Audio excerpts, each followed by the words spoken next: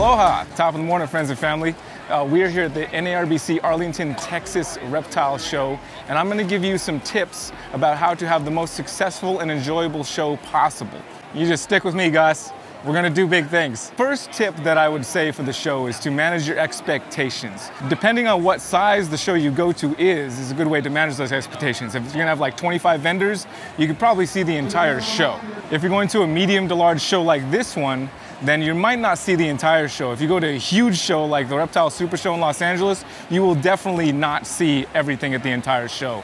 So just kind of manage those expectations and, and plan accordingly. You know, if you're talking to a vendor or two, you probably can. If you're trying to talk to every vendor, it's just not going to be possible for a large, even a medium to large show like this. So just understand what is potentially going to happen for you at the show. Don't feel bummed if you don't get to see the entire show because you probably won't. Another thing to consider would be having a VIP pass, getting a VIP pass, so you can get into the show on the day before it actually opens to the main public. You can talk to people like uh, Tom Harbin over here. He's got his back to us right now talking to somebody, but, but the idea is, you know, when the show starts, it gets really extra packed, and you have a chance to have access to animals that people might buy the day before the official start of the show on the Friday. And so you get that VIP pass if you're looking for a certain animal that might be something that's going to sell really fast you have a much higher chance of getting it there. Vendors aren't super busy. You know, once they get a little set up, you know, be respectful of the time they're, they're taking to set up, but there's a lot more time to talk to people because people aren't talking to a million people at once and it's just not as crowded. You know, you got a couple people walking by every now and then, but for the most part, it's an open show.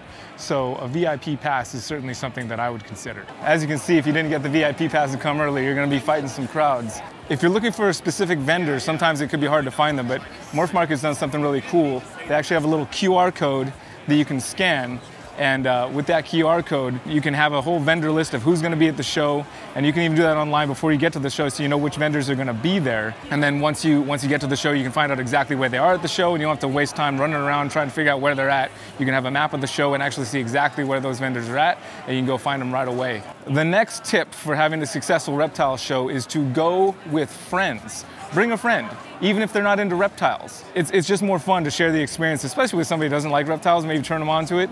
And uh, it's just a whole lot more fun. You don't want to be a loner standing alone by yourself somewhere, just being like, do do do do do. And listen, if you don't have friends, that's fine too. The reptile show is one of the best places to come and make friends that are into reptiles like you are. I've made some of my best friends from my entire life here at reptile shows and uh, lifelong friends, people that I really care about. So even if you don't have a friend, come to the show. I guarantee you talk to a couple reptile enthusiasts, you'll have a friend by the end of the show. What's up, Patrick? What's up, brother?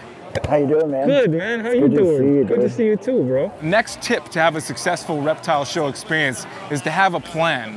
And when I say have a plan, I mean have a plan as far as what animals you're gonna get. I do not recommend making an impulse buy at the show unless you already have enclosures set up at home. Like I do, about a third of my enclosures are empty, so if I did decide I wanted an animal, then I could get it and have something ready at home in my quarantine section ready to go. But don't do impulse buys. Do not buy the animal first and then get an enclosure. It's just not fair to the animal. If you're gonna get an animal at the show, know what enclosure you're gonna have set up at home, have it set up at home, have it running, have the temps and everything, the humidity all set out so that when you get that animal home, it already has a nice spot to roll into.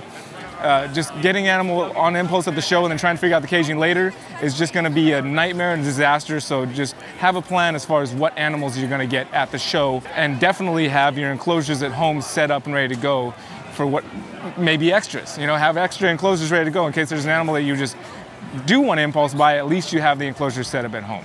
And have that plan. My next recommendation is to talk to vendors. It's fun to come to the show and check out the animals and you can walk around. You could literally spend an entire time walking around the show never talking to anybody. But the vendors at the shows have so much experience with the animals that you may love. Taking the time to talk and chat with a vendor, you'll gain more knowledge than you could imagine just by having that conversation. So I highly recommend finding the vendors that keep the animals that you're interested in and having a conversation, asking them questions. That's what they're here at the show for, is to talk to you and have those conversations and, and get you more knowledgeable with the animals that you love. Another pro tip for you if you're at the show and you're getting animals, say you're flying to the show, believe it or not, you can't bring an animal on the plane. But very often there are companies like Red Redline Shipping that are at the shows ready to ship your animals back home for you. So if you're flying to the show and you need to get an animal home, uh, make sure you take a look at uh, Redline Shipping, get you guys uh, animals home safely. This is the line for uh, to check out Emily at Snake Discovery. Emily and Ed are amazing, fantastic people. And what they've done for the reptile hobby and, and bringing people attention, bringing people to the shows is incredible. Look at how many people are in line to see them. They're such awesome people too. Next pro tip for having a very successful reptile show experience is to stay hydrated and make sure you eat. It can be very exciting at the show, and it sounds like a common, easy, common sense tip, but if you're not hydrated, you could end up passed out at the show. It happens. And you don't want to be that person that is on their back having to be carried out of the show because you didn't stay hydrated and you didn't sustain yourself with the proper amount of calories. So make sure you do that. It is actually very important. What's up, bro? Let's go. How's it going, man? Good. Good to see you. You too. See, this is where that VIP pass might come in handy. It gets pretty packed around these shows, I'm just saying. My final and possibly most important tip for having a good reptile show experience is to make sure you attend the USARK auction at the show. The USARK is responsible for defending our rights to even have these shows in the first place. If it wasn't for USARK, reptile shows could be a thing of the past. So make sure you're supporting USARK. And if you're at a show that doesn't have USARK in attendance, maybe talk to that promoter and ask how they can have USARK be a presence at their show. One last bonus tip. Now this is especially important if you're attending a show for multiple days in a row. You wanna make sure that you get plenty of rest because you don't wanna be running on fumes. Take it from somebody who's run on fumes at a show plenty of time. It's much better if you rested up for each day of the show. So if you'd like to watch the whole journey of how we got to this show, watch this video right down here. And uh, take care of yourselves, take care of each other, and we'll see you on the next video. Aloha. Can you give me a nice friendly smile and a wave? no? Come on. How are you gonna be inviting for the people? I'm saying I'm saying you should go come talk to Vanessa and Phil at the USARK booth.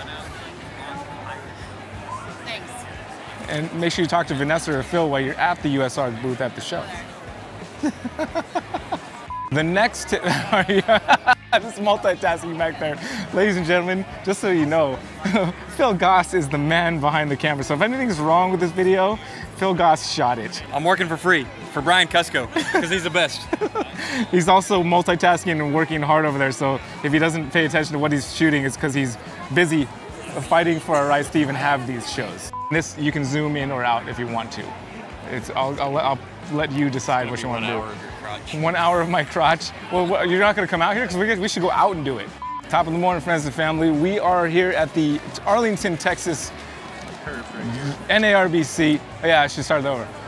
No, no, no, stop, no. Depending on what size of the show, goodness gracious. You're turning me into Dave Kaufman. Phil, you make these shows so, shows so much better for me, bro.